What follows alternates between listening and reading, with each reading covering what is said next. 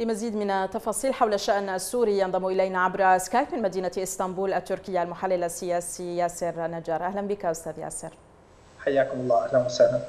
بالتزامن مع مقتل أربعة مستشارين روس وإصابة خمسة آخرين بهجوم تنظيم الدولة في دير الزور كيف تقيم خلفيات هذه الحادثة وما هي أبعادها؟ يعني حقيقة ما نرى أنه ما يحدث في سوريا الآن هي عملية تجاذب ما بين الدول.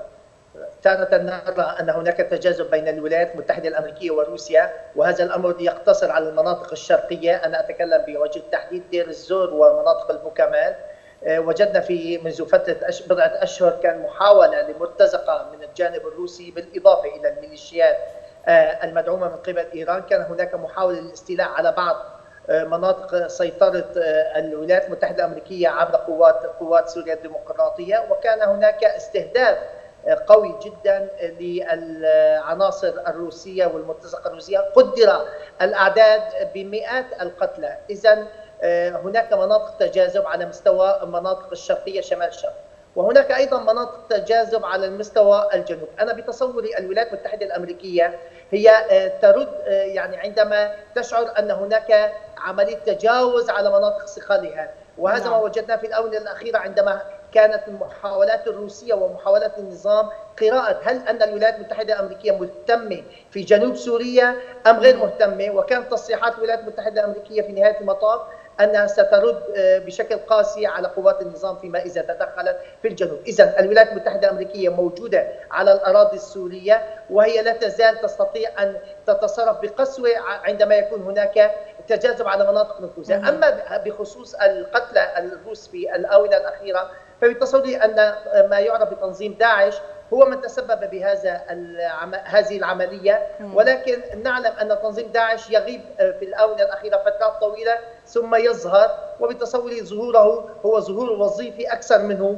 ظهور مصلحي على مستوى فردي هل تتوقع أن يكون لإيران أي دور في مثل هذه الحادثة خاصة وأن هناك العديد من المراقبين يرون أن الحادثة تعكس صراع النفوذ بين موسكو وطهران في سوريا؟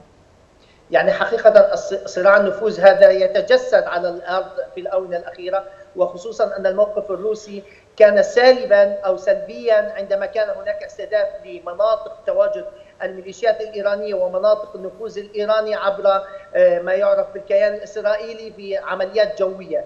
ولكن بتصوري كما سبق وذكرت أن تنظيم داعش أصبح يقوم بعمليات يعني بشكل مرتزق. وأنا لا أستغرب أن يكون هناك تفاعل ما بين الإيرانيين وما بين قوات ما يعرف بتنظيم داعش حول هذه العملية على وجه التحديد، إذا داعش يمكن أن تنفذ هذه العمليات لمصلحة إيران وبالتالي يكون رسالة من قبل إيران باتجاه الجانب الروسي.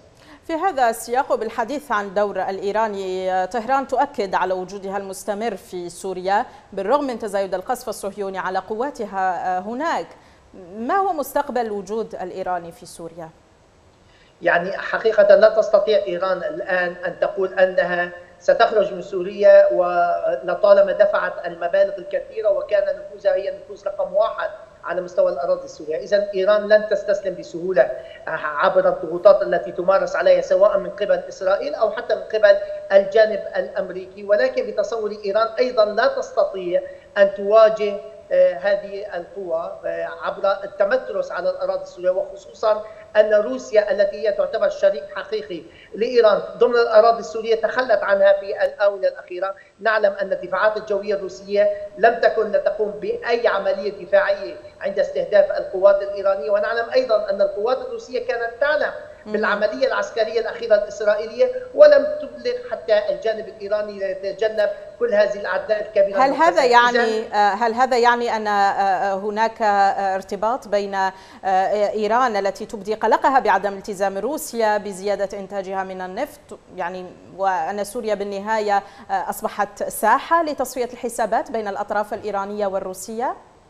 يعني حقيقة إيران عندما تنتصر في المعركة سيكون ذلك على حساب الجانب الروسي وهذا ما لا ترضاه روسيا. نعلم جميعا أن روسيا هي التي استلمت الملف السياسي في سوريا وأيضا الملف العسكري أمام الجانب الآخر الذي هو الولايات المتحدة الأمريكية. إذا إيران لها دور وظيفي مكمل للدور الروسي. هذا في ما وصلت إليه وليس كما بدأته على أنها هي التي تتحكم بمفاصل ما يحدث على العمليات العسكرية على الأرض، أنا بتصوري إيران تتقاطع الآن أو تتجاذب من حيث المصلحة بينها وبين روسيا سواء عبر آه، وصول آه، النفط الإيراني لشاطئ البحر المتوسط عبر الأراضي السورية ومرورا بالعراق هذا جانب لن يرضي روسيا وأيضا عبر مصالح روسية في إعادة الإعمار ستكون على أساس مصلحة إيران في هذه المنطقة، اذا إيران ستتمترس في مناطق الشرقية من الجانب الروسي على الحدود العراقية ولكنها لن تستطيع أن تتواجد في جنوب سوريا وخصوصا بمحاذاة الحدود الأردنية وحدود ما يعرف بكيان إسرائيل. ماذا عن المواجهات في الجبهة الجنوبية لا سيما بعد تهديد النظام والميليشيات الإيرانية لسكان درعا وكيف ترى الموقفين الأمريكي والصهيوني من ذلك؟ يعني بتصوري آه، آه، النظام يقرأ الآن هل أن أمريكا وكذلك روسيا هل أن أمريكا كانت سابقا جادة في عملية إخراج قواتها والتقليل من نفوذها على الأراضي السورية وبالتالي هو يحاول أن يختبر آه، التواجد الثقل الأمريكي في مناطق الجنوب. نعلم أن منطقة الجنوب هي منطقة آه، آه، خفض تصعيد. تم التوقيع ما بين الولايات المتحدة الأمريكية وروسيا على أساس ضامنين لمنطقة خفض التصعيد في الجنوب. بتصور روسيا أرادت أن تقرأ هل أن أمريكا لا تزال مهتمة في وجودها بجنوب آه، سوريا؟ الرد كان واضحا عبر الناطق الرسمي باسم البيت الأبيض أن أمريكا لن تسمح بأي عمليات عسكرية على مستوى الجنوب، هذا الأمر لا يعني لي أنه لن تكون هناك عمليات عسكرية ولكن يعني أن حصة الولايات المتحدة الأمريكية ستكون لا تزال هي الأكبر وأن الأردن وإسرائيل اللتان تمثلان مصالحهما مع الولايات المتحدة الأمريكية كسله واحدة سيكونان هما يعني الربح الأكبر على مستوى أي عملية عسكرية. أشكرك جزيل الشكر. المحلله السياسيه السوريه سر النجار كنت معنا عبر سكايب من مدينة إسطنبول التركيه